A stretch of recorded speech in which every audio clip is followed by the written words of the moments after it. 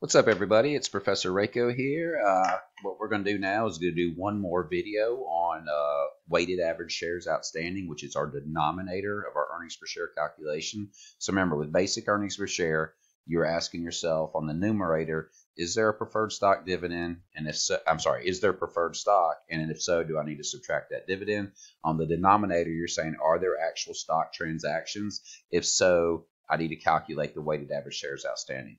Now, you'll find problems in your homework, and you might even get this on a test if the, the questions focus more on the dilutive side of things, uh, where it will say shares outstanding during the year were 100,000. Well, if that's what it says and there's no other transactions, then, you know, it's the answer, your weighted denominator is just 100,000. I mean, you could put it in the format of the table, but it'd just be 100,000 times 12 twelfths equals 100,000. So uh, you'll see that in your homework a lot probably, and possibly even on the test. Uh, so if you see that, you know you don't have to calculate the denominator; it's given there for you. All right. So this example, we're adding one little thing here: stock dividends or splits. Okay, if those occur, reading up here, you must restate shares outstanding before the stock dividend or split. Okay. So it says these do not change the shareholders' total investment. They only increase the number of shares representing that investment all right. And so the reason we restate is so we can compare earnings per share. All right. So if you think about your financial statements when you have more than one year presented, what we do is we go back and restate everything as if the dividend or split had occurred at the beginning. And that way the earnings per share number is comparable across periods. Okay. Now, in the examples we're going to do here, it's just one year. So we're just going to restate back to the beginning of the year. Uh, but you'll see what you'll, you'll kind of get the point from that. All right. So we've got this. Uh, going on here, we got a beginning balance of 75,000 shares. And notice here it says we issued uh, 75, uh, sorry, we issued 25,000 uh, shares for cash. All right, I think I just turned on the eraser mode. Yeah, hang on one second. There we go. All right, so that means we're going to add 25,000 shares. Okay, that's us issuing. And so remember, issued and outstanding both go up when we issue more shares. That brings our total up to 100,000 shares. All right. Now it says we have a 50% stock dividend. All right. So anytime you have a stock dividend, you might you take the shares outstanding, which is 100,000 at that point in time, multiply it times the dividend, which is 50%. So that's an additional 50,000 shares. So, you know, I obviously did not have to tell you that it was 50,000 additional shares. We did that in the equity chapter, so you should be able to uh, handle getting that number on your own. All right, so that brings our total up to 150. Or you could just skip that and multiply 100 times 1.5 to get up to 150. All right, so that's the other way to do it. And that's what we'll actually do when we get down to the table.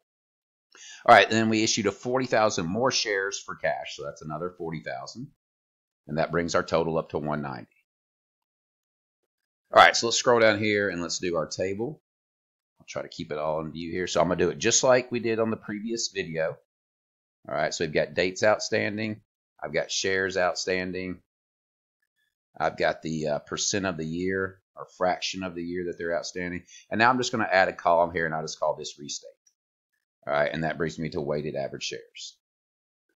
All right, so let's uh, go through here and uh, just fill in. Let's not worry about the restate column yet. All right, so our beginning balance was 75, and we didn't do anything up until March. All right, so that is 2 twelfths of the year. And then we added uh, from 3-1 to 8-1, we had 100,000 shares outstanding, and that is fit 5 twelfths of the year.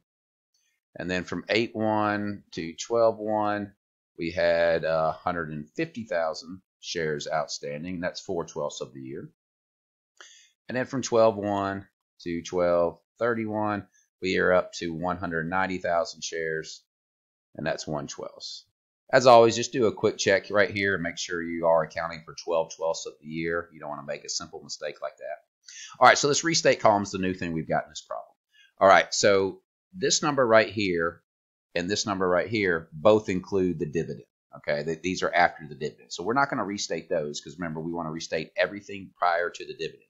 Okay, so we need to, so remember, to get to the 100 to 150, we basically multiply times 1.5. So that's all we do to these as well. That way it puts everything as if the uh, dividend had happened at the beginning of the period. So when you have a stock dividend, it's eh, let's say it's a 30% dividend, this would be the restate column would be 1.3. If it was a 70%, 1.7 and so forth. Okay. So you're just multiplying times one plus the percent. Okay, so uh, basically 150% of the total is what 1.5 is.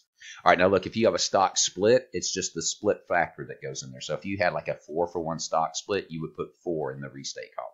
All right, so I'm not, I, I don't have that in this example, but if you have that, it's just whatever that factor is, you put that in. All right, so my weighted average shares, now I'm going to multiply across, but in these two columns, I'm going to include the 1.5 as I'm multiplying across. All right, so this gives me 18,750. This gives me 62.5 here. This gives me 50,000. And this gives me 15,833. All right, so my total is now 147,083. All right, so that would be the denominator that I use in my in my uh, basic earnings per share calculation. Okay, so once again, if you have all these actual transactions, you have to calculate your denominator. And just a quick note here: uh, if the stock dividend split occurs after the end of the year but before the issuance of the financial statements, you would restate for the prior year. Meaning, let's say this 50% dividend happened like you know January 10th. All right, that means all these up here would have a 1.55. Okay, that's all that's saying. So I don't know if you'll see that on a test or you know in your homework that much. Uh, if you do, you're just going to restate for the whole year. All right, so that's just another example of weighted average shares. So hopefully you've got a pretty good grasp on that. Uh, chances are you'll either have to calculate it in a problem on your test or in a multiple choice question. So make sure you're able to handle that. And once again, if you're using the Spiceland book, they do it a little bit differently. Uh, so you can do it their way or do it this way, but you know, just pick the way, the method that you're most comfortable with working through, because uh, that will help you come test time. You know, I'm a big believer, be consistent uh, in the way you do these problems, and it makes it easier to, you know, uh, put it back on paper come test time. All right, so that's weighted average share. So tune in next time as we continue on uh, with the rest of the earnings per share chapter. I'll see you then.